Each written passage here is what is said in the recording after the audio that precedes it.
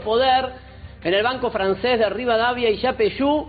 Este es el documento visual de lo que pasó, una secuencia donde va a llegar una pareja, va a dejar el explosivo y se produce el estallido de este artefacto. A raíz de esta explosión hubo una mujer herida con lesiones diversas. ¿eh? No estamos hablando de un estallido pequeño, ¿sí? sino de un estallido potente, similar a otros tantos ocurridos en otros bancos aquí en la ciudad de Buenos Aires, uno que se adjudicó a un grupo que atentaba contra la empresa LAN, y en este caso puntual, escuchen bien, se lo adjudica en Internet ese estallido que estamos viendo con las lesiones que le causó a esta mujer, se lo adjudica un grupo autodenominado Células Revolucionarias Brigada Andrea Salcedo.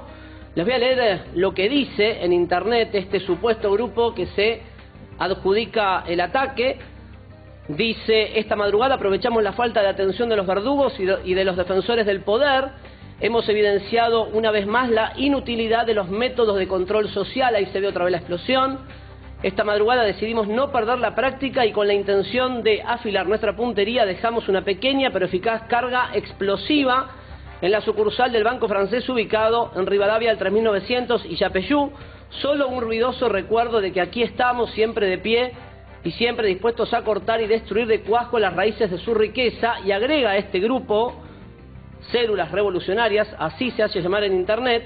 De esta manera recordamos a aquellos que murieron en la provincia de Río Negro, propiamente en Bariloche, por medio de las balas de aquellos que protegen a los ricos.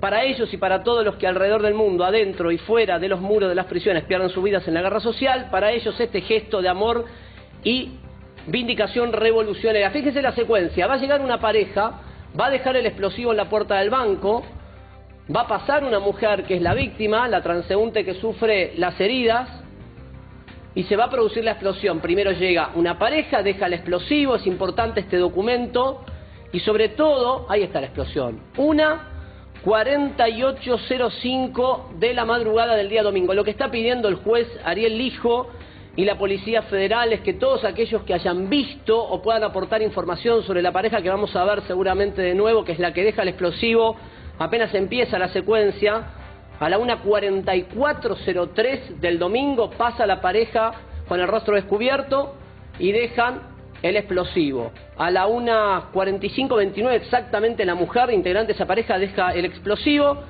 A la 1.4804 pasa la víctima y a la 1.4805 se produce la explosión. Escuchen bien para anotar aquellos que puedan colaborar con la investigación del juez federal Ariel Lijo, la dirección de mail donde pueden dar información. Ahí estamos viendo cómo dejan el explosivo. Bien, la secuencia a la izquierda. Sí, se ve perfecto. Está la pareja dejando el explosivo. Bueno, quienes puedan aportar información, con esto cerramos, lo tienen que hacer a la dirección de correo electrónico 12 con S, Mm.